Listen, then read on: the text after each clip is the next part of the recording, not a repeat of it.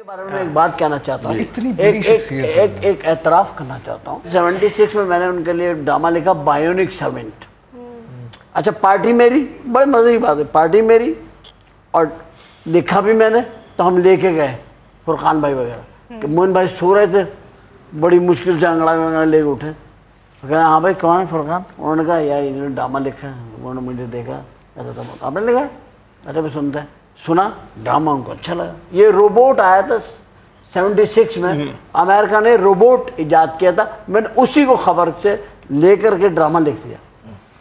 अब रोबोट पहले तो कभी बना ही नहीं था थिएटर में। वो बना लिया। अब मैंने तो अपना सोचा हुआ बड़ा तो मोहन भाई ने कहा फरखान ये रोबोट का रोल मैं करूँगा। अब तुम सोचो पार्टी मेरी लिखा हुआ मेरा। रोबोट में और आप रिबोट बन के लिखते हुए आप रिबोट बन के चलते भी रहे। चलता रहा। करता किया सारा। सारा बड़ा कंसीव तो कहने लगे ये मैं करूँगा फुरकान। फुरकान भाई तो उनके जेर असर थे अल्लाह बेचारा वो सेहत तंदुरुस्ती थे फुरकान भाई ने कहा ज़ाहिर है उन्होंने कहा, ज़ाहिर है तो मुझे ज़ाहिर हो गया सारा काम. यार, ये क्या हुआ? मैं माने का मैं मैं मैं तो फुरकान भाई, ये तो मैं, पार्टी मेरी है, तीन दिन का करना था यार, ये तो फला, उन दिनों वन डे प्ले होते। ये वो, उन्होंने मुझे एक बात समझाई। उन्होंने कहा, देखो, मोइन अख्तर एक मशहूर आदमी है इस वक्त। और विंडो सीयर हमें चाहिए कमर्शियल थिएटर तुम टैलेंटेड हो लेकिन अभी तुम मशहूर नहीं हो तुम्हारा पब्लिक नहीं आई। तो पब्लिक लाने का तरीका बनाना है शुरू में तो मैं उसी वक्त वापस आया हमने भाई को स्क्रिप्ट दिया मैं कहा जी आप ही कर रहे हैं। उन्होंने किया। मैंने उस रोबोट के बाप का रोल किया। जो जो गाँव से आया है। बच्चा पैदा क्यों? मैंने आके कहा अब मैं ये रो रहा हूँ कि भाई हमारे तो गाँव में बिजली नहीं है और तुमने रोबोट कर दिया मेरे बच्चे को। हम कैसे चलाएँगे इसको? अब ये मैं इस, इस इसको बेस बना के छो अच्छा लोग आते थे बाखुदा। मोहन भाई बिला शुबा बहुत बड़ी सलाहियतों के मालिक। लेकिन लोग कहते थे यार ये तो मोइन अख्तर है ये इसके साथ में जो खड़ा है ये कौन आदमी है?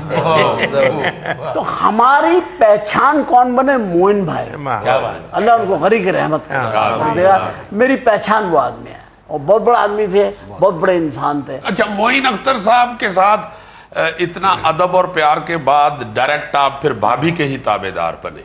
नहीं नहीं अच्छी बात नहीं। मैं ताबेदार कभी भी किसी का नहीं रहा मैं मैं हमेशा तो रहे होंगे ऐसे यार नहीं वो नहीं वो ये ये जो आप बात कर रहे हो ना आप लाफ्टर लेने के लिए ये हर में बिल्कुल इस्तेमाल कर बिल्कुल नहीं बिल्कुल सुनिए। आप आप, आप जिस वक्त शो बंद करेंगे मैं आपको इतने लाफ्टर लिख के दे दूँगा मैं लाफ्टर के लिए नहीं कर रहा। सवाल लेके टीपू सुल्तान मशहूर है। सर, मैं चाह रहा हूँ कि ये बताऊँ कि आप एक आपका पोर्शन ऐसा भी है मेरा पोर्शन नहीं है भाई नहीं है। ही सवाल लेके तो फिर वो चलिए ओरिजिनल लाफ्टर दे सर सवाल करो ऐसे ही करो। ए, सवाल लेके ना कर जी आ रहे हो है। आप इसमें आपको क्या पूछूँ कि बनाने वाली मशीन कैसे बनती है? यार ईद का शो का मतलब तो ये नहीं होता कि होता है यानी आप एक आदमी को कम नदा कर दे। खुशी के मौके पे। बात बताऊँ मैं अली साहब एक ड्रामे में ना पहलवान बन के अंदर गया हूँ। तो इनका किरदार ये था कि जो भी आ रहा है ना ये उसको उसी के किरदार में आगे मिल रहे हैं। तो वो नौकर बताते हैं इनको जी पहलवान आया है। तो मैं रोल वो कर रहा था पहलवान। तो इन्होंने भी फटाफट धोती कुर्ता पहन के अंदर से कहते पहलवान बुलाओ। तो ये इन्होंने अब वो चूँकि इनके पास टाइम थोड़ा था इन्होंने वो धोती कुर्ता और पगड़ी सी बाँध के तो मूछ नहीं लगाई। अच्छा। मैं अंदर आके पहलवान मैं तो तसली से बाहर पहलवान बना वो मूछे शूछे ये वो सारा कुछ। वो करके मैं अंदर आया तो मैंने आके ना यही बात पकड़ ली कि एक आधा पलवान है जिदे मोची नहीं है तो पता नहीं क्या क्या वो उसकी, उसी पे हम लोग शुरू हो गए। वो मेरा वो सीन बड़ा अच्छा बन गया और उमर शरीफ के साथ सीन बन जाना वो बड़ा मैं खुश वाह वाह वाह, उमर साहब के साथ मेरा तो सीन बेहतरीन हो गया। अगले दिन मैं वो पहलवान बन के तैयार श्यार होके अंदर आया तो ये बैठे हुए थे कुर्सी पे। हाँ सुहेल वो, अब तुम्हारी वो पहलवान वाली एंट्री मैं कह, जी. हाँ यार, वो मुझे याद आ गया, कल तुमने वो मुझे एहसास दिलाया। मेकअप! बेटा मूछ लाओ यार, कल मेरी मूछ मैं आगे ना सामने इनके कंधे पकड़ के मैंने कहा, उमर भाई मुझे ना लगाने पे ही तो मेरी सारी कॉमेडी थी। अच्छा चलो फिर नहीं लगा ऐसा ऐसा ये मज़ा लेते थे। अच्छा मुझे ये चीज़ बड़ी फैसिनेट करती है। मैंने थिएटर देखा हुआ बचपन में। ये जिस तरह गालिब कहता था कि आते हैं गैर गैर से मज़ा ही भी ख्याल आप लोग स्टेज पे जो इतनी ये कॉमेडी स्पॉन्टेनिटी आ रही होती है ये प्रोसेस क्या होता है? ये किस तरह? आप यकीन करें मैं क्योंकि कई चीज़ें तो स्क्रिप्टेड होती होंगी लेकिन कई चीज़ें उसी वक्त होती है। मेरी तो मोस्टली इनकी भी। अब मैं ये बचपन से होती है आपको पता होता है कि यार यार मैं छः साल का था। तो मैंने बड़ा बनियान और छोटी शर्ट पहनी। थी मुझे आज तक याद है। मैं घर में अंदर आया तो मेरे रिश्तेदार कहने लगे अरे भाई इतना बड़ा बनियान और इतनी छोटी कमीज? मैंने कहा ये बनियान पहले पैदा हुआ था कमीज बाद में पैदा हुआ और छः साल का था मैं तो ये होता है किसी में फितरत होती जब मैं मैं आपको एक बात बताऊँ जैसे सुहेल है जैसे अमानुल्ला है। अमानुल्ला बहुत अच्छा आर्टिस्ट है। जैसे ये बच्चा है या हमारे कराची में और पंजाब में बहुत सारे लोग जो भी लड़के कॉमेडी करते हैं सबका नाम ले रहा हूँ किसी का भूल जाऊँगा तो बुरा मानेंगे। अगर इनको सबको एक ग्रुप की शक्ल बना के आप पूरी दुनिया में भेज दें अगर हम सारे अवार्ड ना ले आए तो हमारे सर कलम कर दिए जाए। भेज दें पाकिस्तान में कॉमेडी बड़ी इंडिया में जो सबसे बड़ा शो हो रहा है कॉमेडी विद कपिल। तो कपिल मुझे खुद कहा था कि यार मैं तो आपकी कॉमेडी देखे वहाँ पर देखे हम लोग सर इट इज़ शो कर रहा है हमारा। मेरा शो था ये जो वो कर रहा है बड़ी इज़्ज़त करता है वो वो वो मैं इस हवाले से ये कहा करता हूँ कि ये इतनी जीनियस बड़ा अच्छा है। वो अगर कॉपी करते हैं उमर भाई को देखते हैं मोइन साहब को देखते हैं अमानुल्लाह खान साहब को देखते हैं अच्छी बात है नो प्रॉब्लम करनी चाहिए उनको भी करना चाहिए। मगर मैं तो अपने तय तड़प रहा होता हूँ कि हमने क्यों अपनी इतनी जरखेज खेती जो है उसको हमने क्यों ये बात आ, ये तो मैं बात लगा अब आप आप भी क्यों गए? क्योंकि गैर मेरी थिएटर हो गया आपने छोड़ दिया।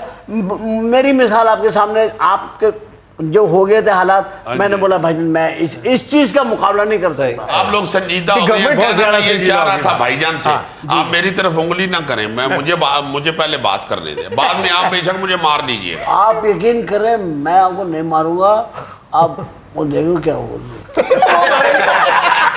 ये पूछना चाह रहा था कि लाहौर में आगे आपने पंजाबी ड्रामा भी बेहतरीन किया है। भाभी हैं जो हमारी वो सियालकोट की हैं याद तुम भी सियालकोट से थल्ले लगे हुए हो और ये भी अल्लाह के फजल से वैसे ही ये जो पंजाबी कल्चर की तरबियत है और ज़ुबान की ये भाभी से काफ़ी हेल्प मिली होगी। नहीं नहीं।